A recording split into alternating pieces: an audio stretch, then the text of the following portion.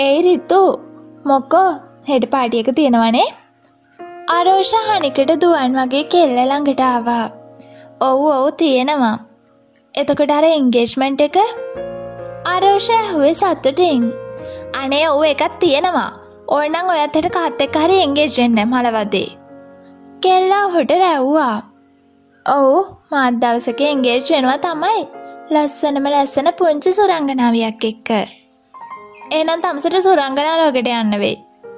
මොකද මේ ඔය ඒන්ජල්ස්ලා නෑනේ. ඇයි නැත්තේ? මගේ මේ ඉස්සරහම ඉන්නේ බියටිෆුල් ඒන්ජල් කෙනෙක් අරෝෂක් හිනාවෙවී කියත්තේ කෙල්ල තරහෙන් පිපිරුණා. අනෙ මේ අරෝෂ තමුන්ගේ පාඩුව ඉන්නොද ඩබ්බලාගෙන තමුන්ට ගැලපෙන කෙනෙක් තමුන්ට දවසක හම්බෙයි. ඒත් ඒ කෙනා මං නෙවෙයි. හරිද? අම්මෝ සීටි ඒ කියන්නේ ඔයට තේරුණාද? මං මේ එන්න හදන්නේ මොකටද කියලා? හපොයි ඔව් හොඳට තේරුණා. තම්සගේ ඔය විකාර මනමාල අදහස් නිසා අපේ ආලුකමත් නැතිවෙයි හරි දඩෝෂ ඒ නිසා රෝං ටෝක් දෙන්නැතුව ඉස්සර වගේ අහිංසකව පිළිවෙලට ඉන්නවා. මට වදයක් වෙන්න ඇතුව දැම් මෙතනින් යනවද? කෙල්ල කේන්තියෙන් කියලා අරෝෂට එරවූයේ. ඔහු හිනාවෙවී කෙල්ලගේ කැබින්නකින් එලියට යද්දී. ඉස්සර වගේ මට අහිංසකව ඉන්න බෑසුදු මොකද ඔයාව දකිද්දි මට මාව පාලනය කරගන්න බැරුව යනවා. ඒ නිසා සිල්ගන්න බෑමට. ඔයාව අයිති වෙන්නේ මේ මට විතරයි. දැන් ඉතින් අපිට බාධාවක් වෙන්නත් කවුරුත් නෑනේ. අරුත් හෙටෝගේ මංගල ගමන යනවනේ.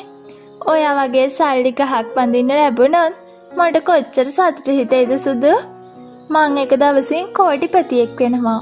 වාව් මරු අරෝෂ හිතුවේ කටකොනින් කපට සිනාවක් පාමින් ඒ දවසත් ගෙවිලගිය හරි ඉක්මන්ට රිතුකිටේ දාමුළු රෑම නින්දක් තිබුන් නැහැ රෑ දොළහට කොල්ලට විශ් කරන්න කෙල්ල හිතාගෙන යුන්නේ මන් තමයියාට ඉස්සෙලම් බර්තයකට විශ් කරන්න සිහෙන් කෙල්ල නොවිසෙල්ලෙන් පසු වුණා දොළහ වෙන්න විනාඩි පහක් තියෙද්දි රිතුකි කොල්ලගේ කාමරේ දොරළඟට ගියේ එය ඈ හෙමිට විවර කරමින්. කෙල්ලගේ හදවතේ ගැස්ම එන්න එන්නම වැඩි වුණා. සිහෙන් ඇඳේ ගුලි ගැහෙල හොඳටම නිදී. අඩ අඳුරේ වුණත් කෙල්ලට ඔහුගේ මුණ යන්තම් පෙනුනේ ඇයට ඇගේ හැඟීම තවත් අවනත නොවෙද්දී. දොළහ වෙන්න තව විනාඩියයි. රිතුකි දෑස් අයාගෙන උන්නේ එක පාටම කොල්ලව හැරවලා ඔහුට විශ් කරන්න. ඔහුව පුදුම කරවන්න.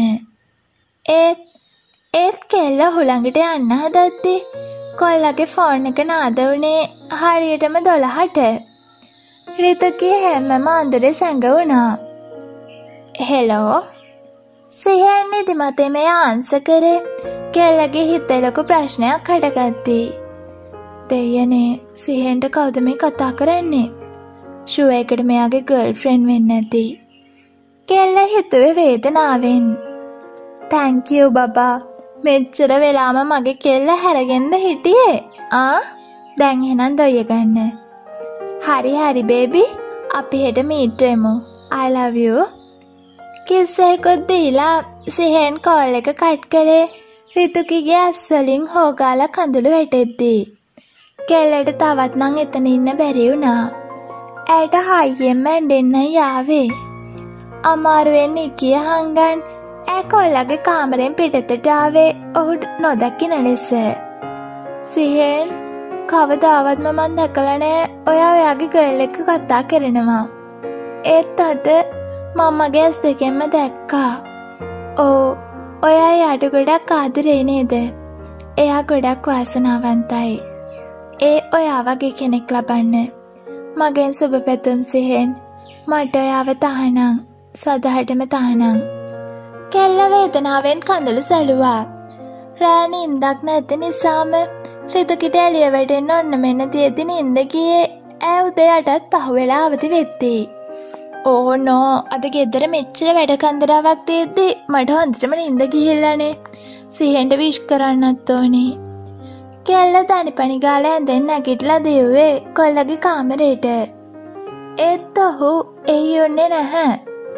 සිහෙන් එයා කොහෙද කියේ අයියෝ මට එයාට විශ් කරන්නවත් බැරි වුණා. ඒත් මට විශ් කරන්න බැරි වුණාට මොකද? එයාට වෙන අය ඉන්නවනේ විශ් කරන්න. එයාට මගේ විශ්් එකෙන් තියෙන වැඩේ මොකක්ද රිතකගේ දෑස්සක කඳුලක් මෝද වනේ ඊය රෑ ඒ සිතුවීම මතක් වෙලා. දූ?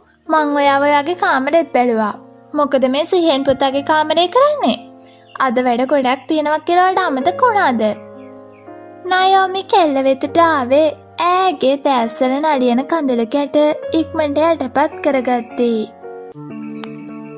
ඉතිං යාලුවනේ කතාවේ ළඟ කොටසින් අප ඉක්මනින් හමුවමු.